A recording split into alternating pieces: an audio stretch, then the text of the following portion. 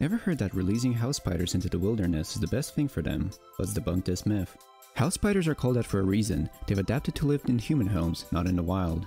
This doesn't mean releasing them into the wilderness is a kind act. In fact, it can be quite the opposite.